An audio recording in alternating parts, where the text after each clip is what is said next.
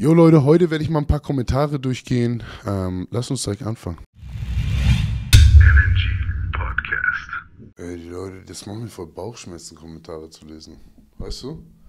So, aber nicht auf, dass ich getriggert bin, sondern einfach, dass ich so denke, was für eine. Dumm kann man sein. Oder sag mal, also es tut mir richtig leid für die Menschen. Weil man spürt so deren Leid, weißt du? Ein Kloß im Hals? Was, was ihr Debris nennt? Das kommt von Stillstand. Das kommt von Versagen. Das kommt von Selbstlüge. Selbstlüge ist wie Selbstmord. Alleine erzähl mal meiner Therapeutin, vielleicht gibt sie dir auch einen Platz. Die Menschen merken gar nicht, wie, ähm, wie labil die sind und wie getriggert sie sind. Das ist mein so. Die denken wirklich, Digga, ich bin, ähm, ich habe eine Macke. Also ich finde das ja, ich finde das auch in Ordnung. Ich finde ja, aber für mich ist es einfach so traurig zu sehen, weil du musst dir vorstellen, ne, die Schritte zu unternehmen, dass du ein, dir einen Beitrag anguckst von jemand, der dir gar nicht gefällt, von der Mentalität her, der dich triggert. A, du hast das Ding zu Ende angeguckt, weil du kannst auf alles antworten. Das heißt, du hast dir wirklich 28, 24 Sekunden Zeit genommen, um dich, um etwas anzugucken, was dich triggert. Dann nimmst du dir die Zeit und kommentierst noch darauf. Weißt du, so, das ist so, das zeigt mir dann schon, wow, krass, okay. Der, er oder sie hat nichts für sich gerade am Laufen. Weil, wie kann das so interessant sein? Auf Instagram, ich habe euch gerade gezeigt, was für Leute ich folge, weshalb ich immer neue Übungen kenne und sonstige Sachen. Oder weißt du, auch allgemein Wissen. Wenn jemand sagt, ey, ähm, Samenöl ist nicht gut für dich, solche Leute folge ich. Das heißt nicht, dass ich den Typen sofort glaube, sondern er gibt mir einen Denkanstoß, mal nachzuforschen. Und so entstehen dann, entsteht dann Wissen. Weißt du, was ich meine? Indem du die richtigen Leute folgst. Und ähm, ich merke gerade in dieser Zeit, das Social Media ist wie so, ein, wie so eine Kloschüssel geworden für viele Menschen, wo sie ihr Frust ablassen können. Weißt du so? Weil es ist eine Läster-App. Jeder schickt sich, Leute gehen viral, nicht wegen den Fans. Ich sehe ja, wie viele nicht erreichte Konten ich habe. Wir haben ja eins, ich glaube, zwei Millionen Leute letzten Monat erreicht. Davon waren 50.000 meine Follower. Also, was ich sagen will, das heißt, viele Leute schicken die Sachen, die sie nicht mögen, auch an fünf Leute. Humor-Sachen natürlich. Traurige Sachen. Also, das ist so ein, so ein Ab, ist so eine krasse Ablenkung. Es macht mich schon krank im Magen, weißt du so. Und ähm, ich bin auch froh, dass wir gerade diese Journey alle gemeinsam gehen können und dass wir ähm, auf Social Media sozusagen eine andere Art von Message rüberbringen können und einfach mal den Leuten, weil mich interessiert, das Ding ist, letztens hat einer geschrieben, 90% deiner Follower sind fake und so, aber es interessiert mich gar nicht.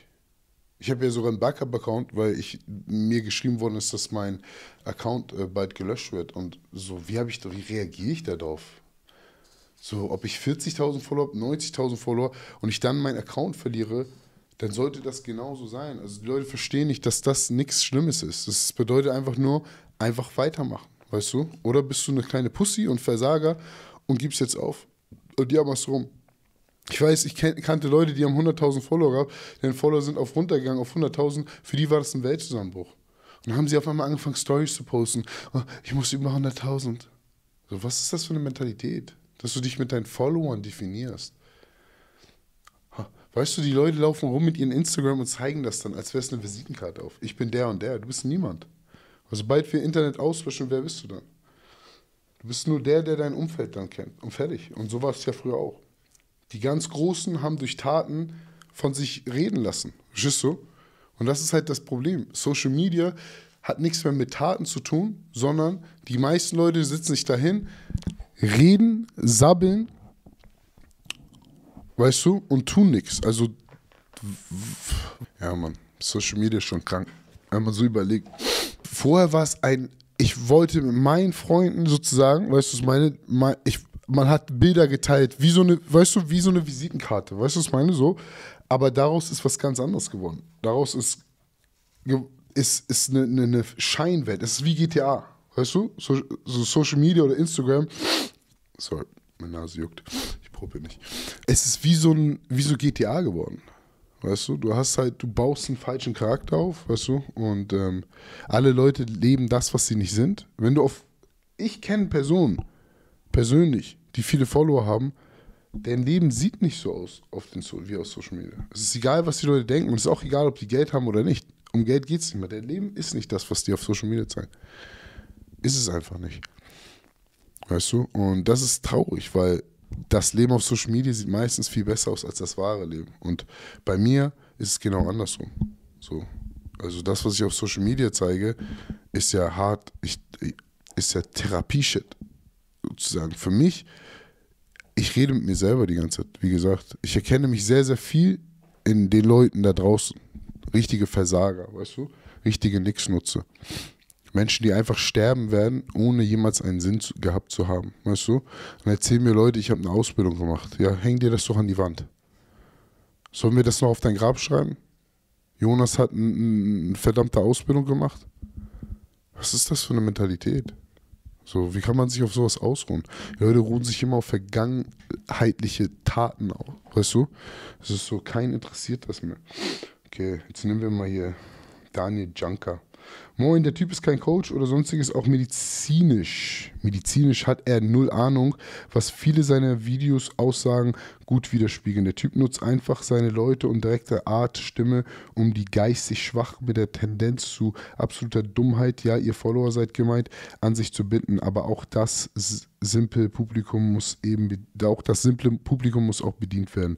Und wenn man sein Profilbild anguckt, ist es ein Mann, ne?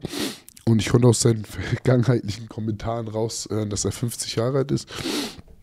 Und dann steht er da mit einem Messer vor seinem Mund, weißt du, was ich meine? Cappy im Gesicht. Und du bist 50 Jahre alt, weißt du, was ich meine? Und nimmst dir Zeit, so einen langen Text überhaupt zu verfassen, über jemanden, den du gar nicht kennst, weißt du, was ich meine? Den du jetzt durch dein getriggertes in verschiedene, anscheinend mehrere Videos geguckt hast, wo du nicht der Meinung bist, weil Zucker nicht für dich schlecht ist, weil der Arzt gesagt hat, dass das in gewissen Mengen und Alkohol du ja auch immer trinkst.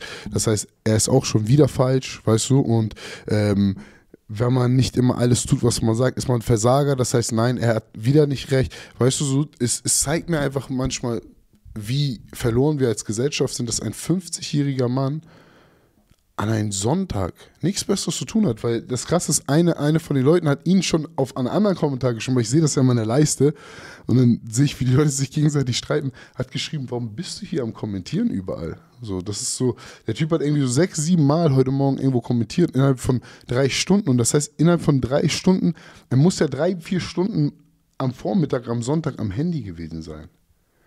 Und nee, also, wie, was hast du in dein Handy so zu, also was gibt's da draußen? Guck dich doch mal um. Das Leben ist doch vor dir. Weißt du so? Und ich bin, wie gesagt, schockiert, wie man so freiwillig am Handy sein kann. Weil, wenn ich zum Beispiel mit meinen Kindern bin und ich bewusst keine Arbeit habe, gibt es nichts anderes am Handy für mich zu tun. Du erreichst mich auch gar nicht, weil das Handy lege ich weg. Weißt du, zum Beispiel heute Morgen, mein Sohn will Football fangen können. Und guck mal, wie ehrgeizig Mineos. Also der Typ hat, wir haben wir haben gemacht, wenn du 90% der Bälle fängst, bist du heftig. Ne? Dann beim ersten Mal hat er 89 von 100 Bällen gefangen. Oh, hat geheult, wie ein Baby. Ne? Dann beim zweiten Mal 97 von 100 und hat geheult wie ein Baby, weil er 100 schaffen wollte. Ist schon so. Aber da muss ich das auch rausnehmen, weil das ist auch wichtig, dass so, das ist Ehrgeiz, es ist schön, weißt du, und das will ich den Leuten auch sagen. Egal wie hart ihr denkt, ich bin, ich habe meinen Sohn direkt zur Seite genommen und meinte, ey, sei mal nicht so hart zu dir selber, weißt du? Du musst das genießen, sonst kannst du gar nichts genießen, weil das sind hohe Ziele, die wir immer haben, natürlich, weißt du, was ich meine? Aber 89 ist richtig gut, weißt du, was ich meine? So, 85 ist richtig gut und du musst dich auch mal belohnen, weil du hast ja trotzdem die 100 Bälle versucht zu fangen. Das ist ja die Arbeit, die man reingesteckt hat. Verstehst du? Und das muss man dann auch betrachten und stolz auf sich sein und nicht sagen, boah, weil in der Villen-Org zum Beispiel habe ich nicht alles geschafft, was ich auf der Liste geschrieben habe. Ich weiß das. Ich habe noch fünf Tage, weißt du, ich schiebe das jetzt auf die Hero Arc und muss das in den ersten Monaten da abarbeiten. Aber für mich, ich bin stolz auf mich, weil ich habe so viel dazu gewonnen, ich habe so viele Siege gehabt, auch wenn ich Niederlagen gehabt habe. Und die Niederlagen fühlen sich für mich an wie Siege, weil ich immer alles gegeben habe. So, ich habe in 180 Tagen keinen Tag verpasst, keine Einheit, kein Cheat Day, kein gar nichts, keine Ausreden. Weißt du so? Und ähm, egal, ob man mal ganz kurz mal erkältet war, man hat alles trotzdem auf seine eigene 100% dann durchgezogen. Und ähm, ja, man, das fehlt halt unserer Gesellschaft, weißt du, ist diese Verantwortung übernimmt. Ähm, weil ein Versager wird immer im Außen die Schuld suchen. Ein Versager wird immer auf jemand anders gucken und kommentieren und ableiten. Weil, guck mal, ne, ich schwöre es dir, mir schicken manchmal Leute, irgendwelche Influencer, ich will den gar nicht erwähnen, der hat auch so 90.000 Follower und der redet zuckergut, weißt du, wissenschaftlich. Der ist so schlau, der Typ, unglaublich. So überheblich, der nein, unglaublich überheblicher Typ, weißt du so. Ähm, vielleicht wissen manche, wen ich meine, ich will auch gar nicht ansprechen, aber super überheblich, weißt du so, weil der alles auf wissenschaftliche Lage und blablabla. Auf jeden Fall, ich gucke mir seine Sachen an und ich schwöre es dir, ich merke, boah, der Typ triggert mich voll. Weißt du, was ich meine? So, wie er redet und dieses Beste. Ich, ich mach das weg. Ich kommentiere doch nicht bei den Typen. Weil der redet den Leuten, dass man Zucker essen kann. Der, weißt du, er sagt Fasten ist scheiße, alles Quatsch. Weißt du, was ich meine? Richtig schlauer Typ.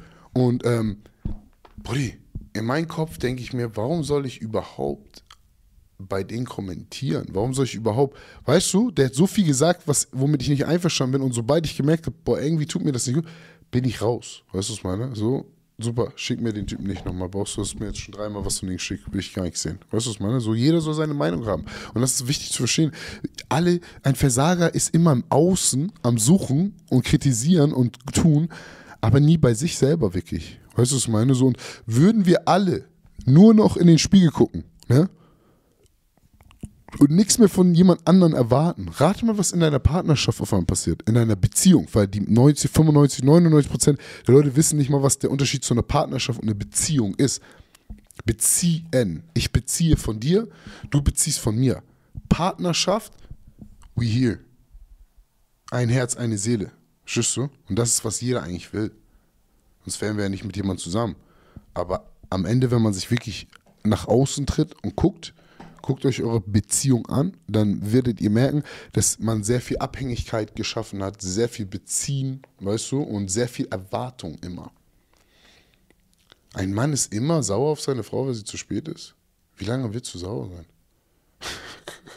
weißt du, ich meine, so, guck doch einfach erstmal bei dir, was du besser machen kannst. Verstehst du? Bei mir ist so, ey, ich habe ja zum Beispiel in der Willen auch für mich entschieden, ey Schatzi, wir trainieren zweimal die Woche zusammen, den Rest trainiere ich, weil ich brauche meinen eigenen Zeitplan. Das heißt, man arbeitet drumherum, wie ich es sagen will. So. Man arbeitet drumherum. Ich, ich weiß, meine Frau braucht immer ein bisschen länger und Frauen brauchen allgemein ein bisschen länger, weil die an tausend Sachen denken. Und dann, ja, ist ja so. Weißt du, eine Frau macht sich fertig, ne?